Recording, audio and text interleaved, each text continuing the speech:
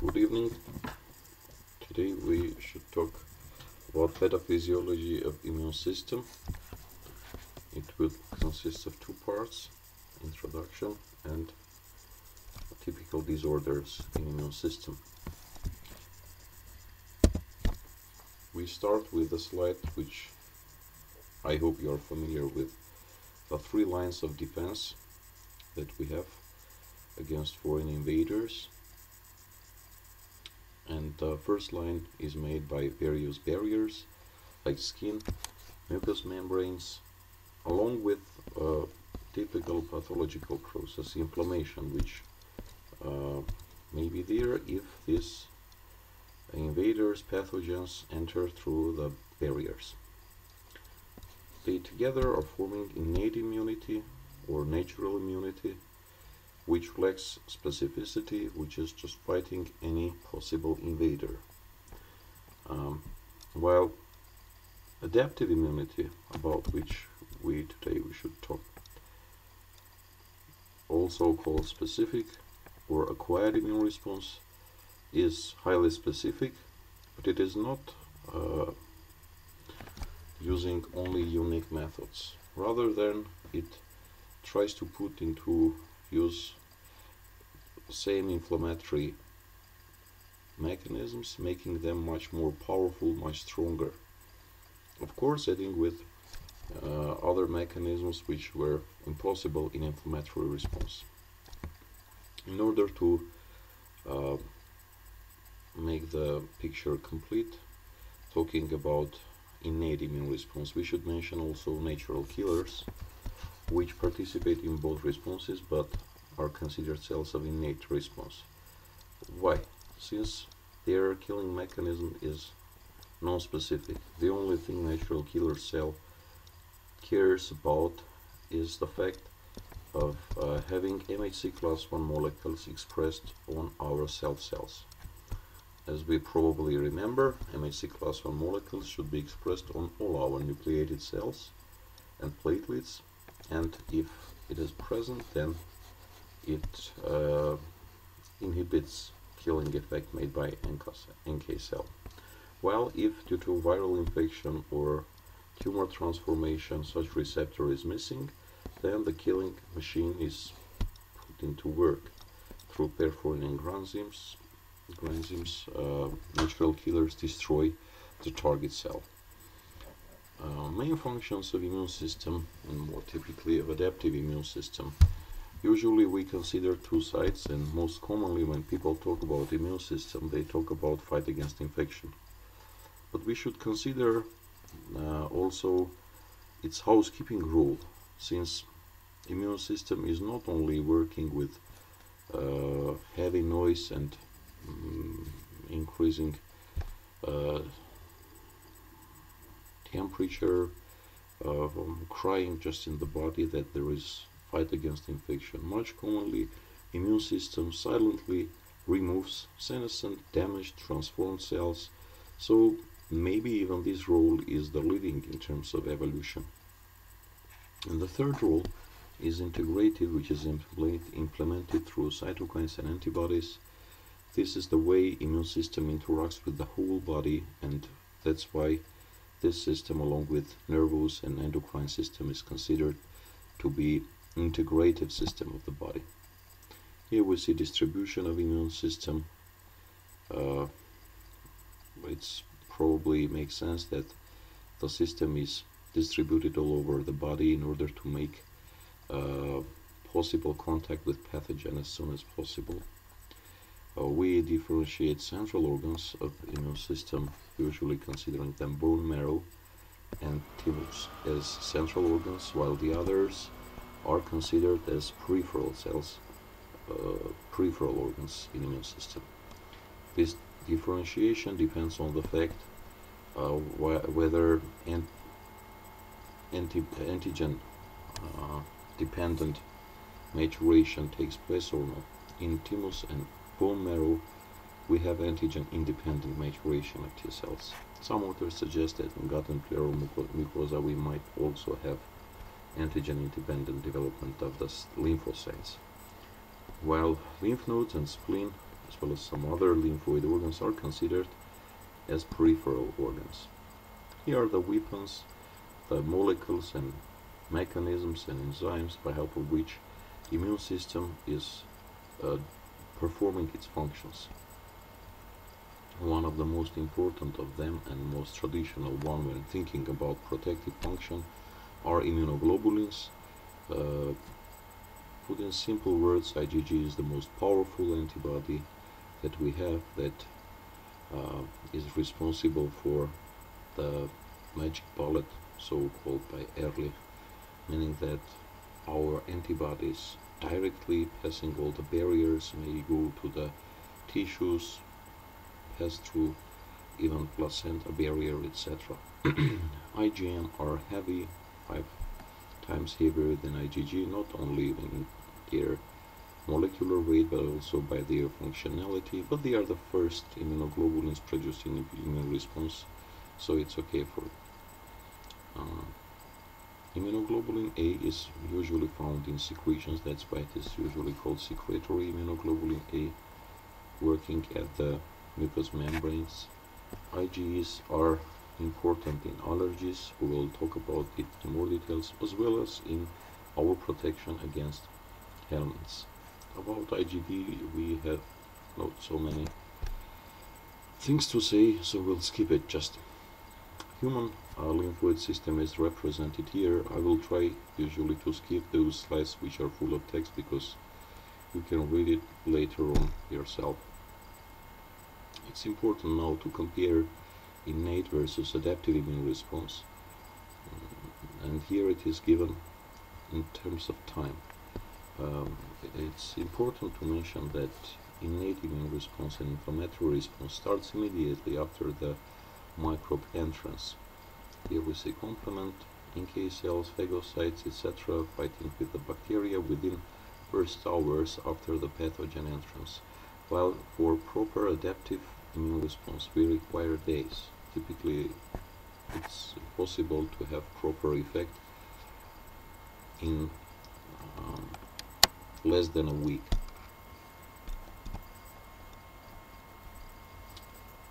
We will now shortly review the main types of um, immune cells. And we'll start with antigen presenting cells. Typically when we say antigen presenting cell we uh, imagine macrophage or dendritic cell. Uh, nonetheless B cells as well as some other cells like endothelial cells are also capable of this. But of course dendritic cells are the real uh, professionals maybe with macrophages. Uh, why? First they are perfectly located at the site of microbe entrance so that they would be the first to interact with the pathogen. And the second thing they require for that are appropriate receptors that allow them to capture microbes. And here is important role of toll-like receptors which is a family of uh, receptors by which dendritic cell is able to conclude that given particle to which it interacts is um, foreign.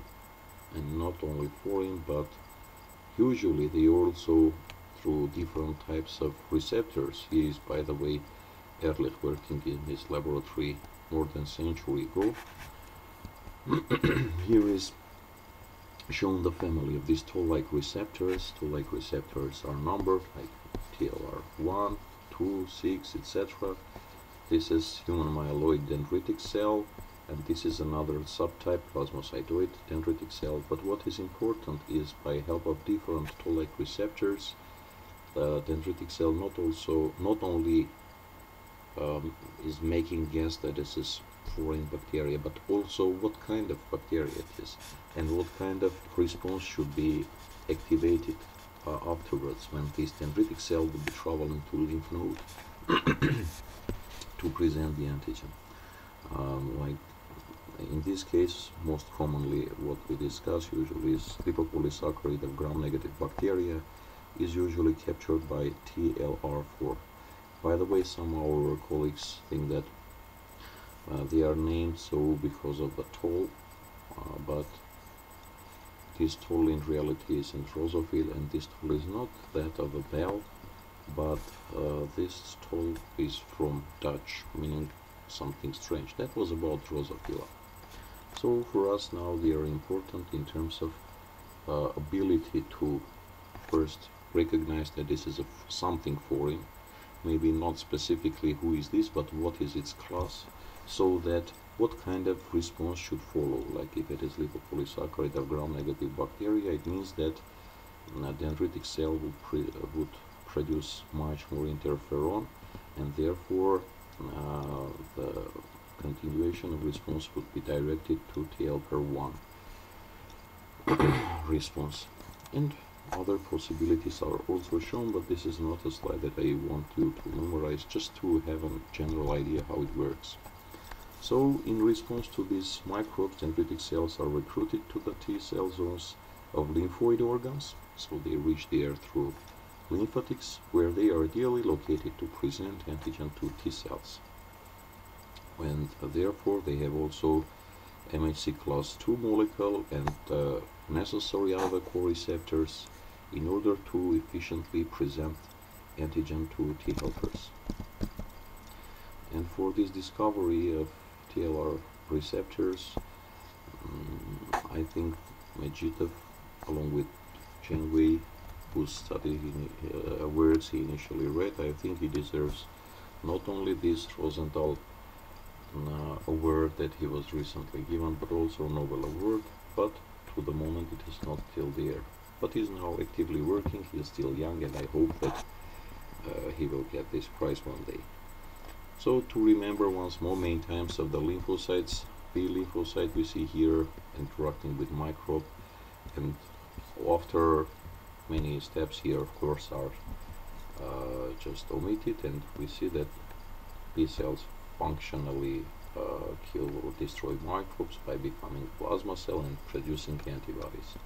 While T helpers do this much more due to production of various cytokines and activating macrophages, neutrophils, inflammation, same B cells, etc.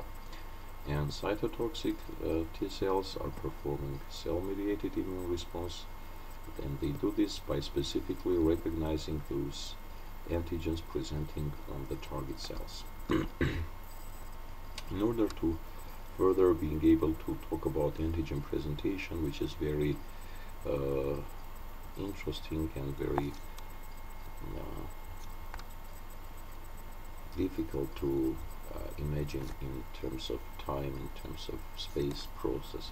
We should talk of course about MHC class 1 and class 2 antigens. They are all located on the same 15 chromosome and uh, there are two types of two classes of molecules which we should consider. Class 1 molecules, which already we mentioned, are present on all nucleated cells and uh, platelets.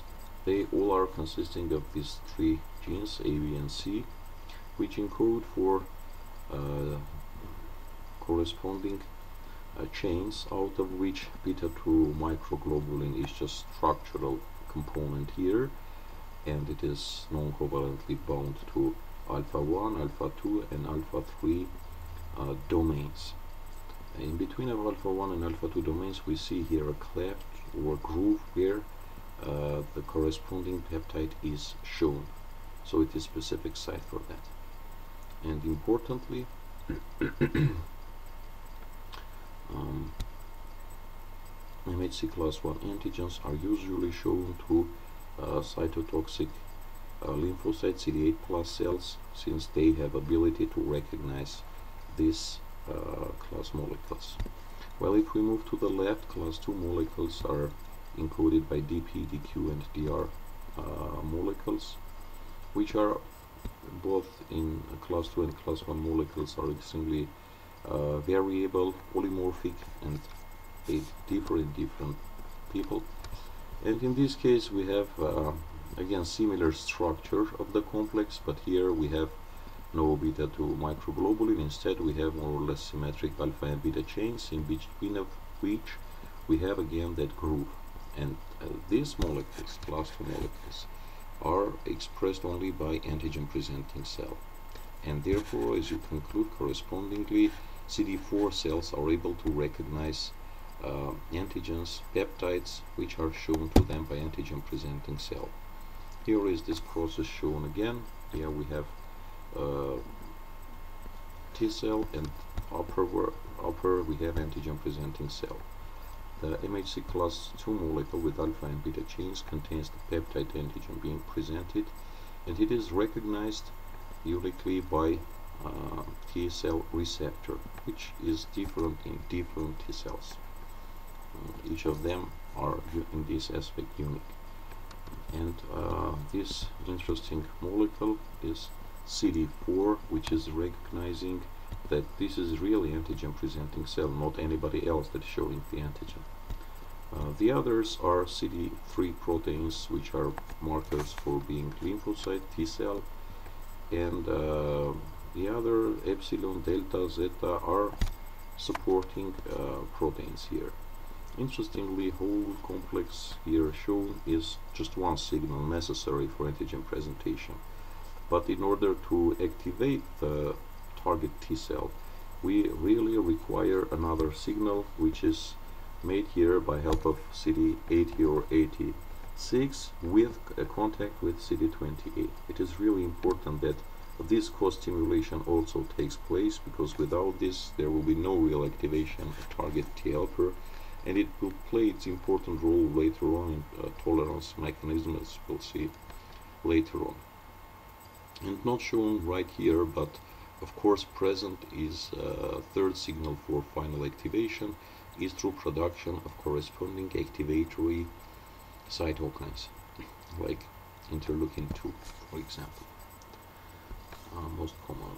So to finalize who and whom is presenting within these pathways through MHC class 1 or class 2, we should mention that most commonly if the pathogen is intracellular, like if it is a virus, then these uh, intracellular viral particles are broken down and then they are put on the MHC class 1 molecules and then presented at the surface of our nucleated cell.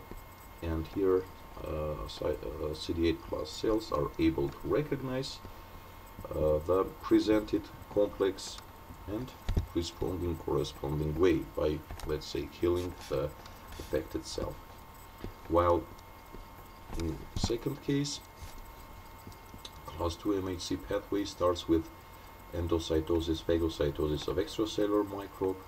It's again broken down. It's peptides antigens epitopes as we sometimes call them are put at the surface of MHC, class 2 molecules and they together are moved to the surface of antigen presenting cell. Here CD helpers are meeting with them and the signal goes ahead.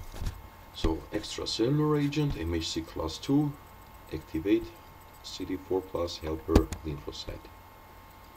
Um, here we see where usually this process takes place. Uh, dendritic cells may uh, capture antigen, travel through the lymphatic reaching lymph node by afferent lymphatic vessel. Here they come, they meet here with naive T and B cells and it can present antigens to both of them. Here we see how they are organized uh, in space. In green we see B cells and uh, red ones are T cells. After this, T helper should uh, choose its destiny, where to go. It's very important process because this will decide what kind of pathway immune system will choose to fight against specific type of pathogen.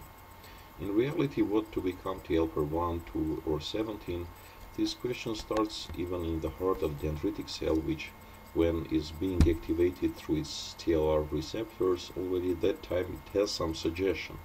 So during uh, contact of antigen presenting cell and T helper, dendritic cell is trying to tell what it feels about this pathogen, but the final solution is of course of T helper, and uh, these cytokines are the directors of the decision.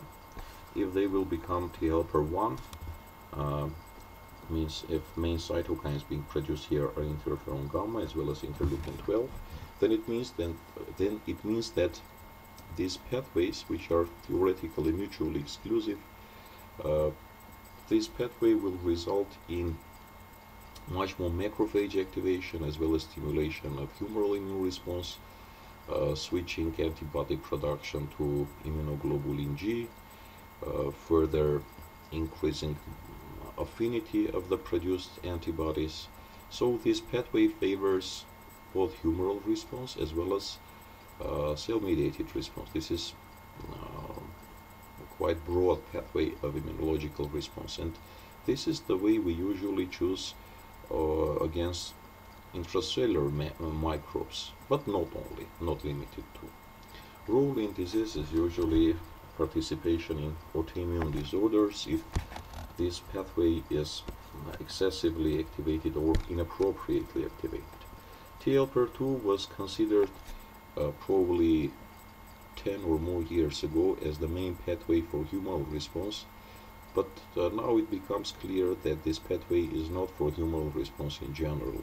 Rather than it is responsible for uh, IgE production and only one uh, pathway of humoral response that is through production of immunoglobulin E which drives us to fight against parasite uh, helminthic parasites or unfortunately in allergic reactions.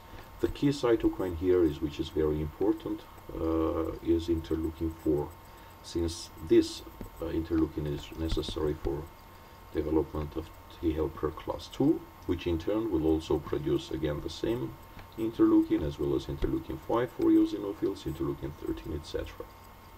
Now coming to most interesting T helper 17 we should mention that it is the most recently uh, discovered helper type. Maybe there are others, but um, there is some talk about some others, but uh, up to now we can be sure only in these three.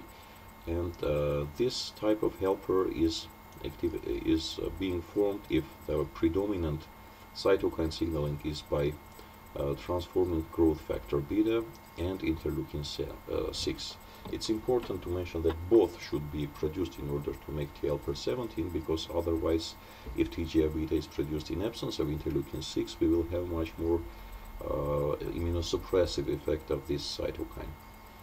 Um, further, uh, these uh, cells, as the name shows, are producing much more interleukin-17 as well as chemokines, interleukin-22 and all this promotes uh, powerful inflammatory response with uh, involvement of neutrophils with the involvement of phagocytes, uh, macrophages, with uh, increasing strength of their response, increasing phagocytosis, etc. And this pathway is successful in extracellular bacteria, fight fungi, etc. On this slide you can see uh, mechanisms of humoral immunity.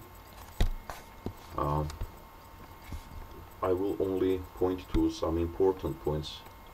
Uh, specifically, the moment when it starts is when uh, one of antigens is choosing its uh, B cell and it is beyond the topic of our today's talk to talk about clonal selection theory but I hope in general you remember know that uh, both B and T cells after all they are chosen by antigen as some have said and the one that will react with given antigen it will receive signals for proliferation. And uh, here in strengthening this response again helper cells specifically TH1 is involved. And then initially we have production of IgM which is less efficient but again very important at the first hours of humoral response that participates in neutralization of microbes or their toxins, while later we will switch to immunoglobulin G production, class switching, this is called in some immune deficiency syndromes as is hyperimmunoglobulin M syndrome. We have the problem of this class switching and uh, the immune response would become less efficient in this case. Why? Because uh, these real immunoglobulins, as we already mentioned, IgGs, are necessary for both opsonization and phagocytosis, for antibody-dependent cytotoxicity, which is implemented by different cells. For instance, natural killer cell, also having Fc receptors, may uh, understand that the cell on which we see IgGs is a cell which is programmed for destruction, marked for destruction. Later on we see that uh, the immune response is starting to be as much specific as it is possible. The uh, affinity of immunoglobulins is increased during the time, which is probably due to mechanisms of hypermutation, means in the progeny of the in the, within the clone of the proliferated and differentiated cells, there is still stimulation to produce the higher affinity uh, immunoglobulins and those with the highest affinity would continue the immune response if it is not finished yet. But it is also important that these cells would uh, then become memory cell. So it's important to make sure that the memory cells would have the highest affinity to the given pathogen. And it is important to mention that uh, memory uh, cell formation is probably one of the most crucial differences between adaptive versus innate immune response in which neutrophils never remember when they met. Unfortunately, neutrophils can't remember because they die at the site of inflammation. Here we see comparison also of the primary and secondary immune responses and we see how uh, high affinity IgGs are prevailing after the second exposure to antigen. And you, here you can have some more um, like one more to review what we mentioned about humoral immune response. And again couple of slides to remember how the story goes. Here you can see all the uh, toll-like receptors how they capture pathogen associated molecular patterns like it could be uh, lipopolysaccharide for instance. Um, how they through co-stimulatory molecules uh, B7 and CD28 co-stimulator MHC class 2 peptide it's, uh, and uh, showing finally this to T-cell receptor leading to activation. Why I uh, didn't remove this slide, it is kind of repetition, but since it is from uh, Wei, the one who, along with the Medzhitov, were responsible for toll-like receptor uh, theory development and uh, important experiments in this field. And it is still for the moment when T helper 17 was not known and it was suggested that only uh, that naive uh, or T helper 0 still has only two ways to choose. And that time it was much easy to explain everything T helper 2 and T helper 1 only. But now it became much more complicated. So we will make a short break here before we will classify these orders of immune system and we'll shortly continue